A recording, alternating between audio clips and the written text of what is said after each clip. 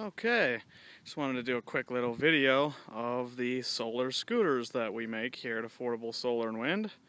Uh, just a typical Schwinn uh, motorized scooter that we add uh, two 10 watt solar panels to, wired in series, and that helps top off the batteries and keep them charged. So you get about 20 miles on a single charge, and they go about 15 miles an hour.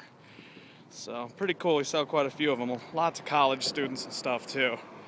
So little charge controller right there. The batteries are in here.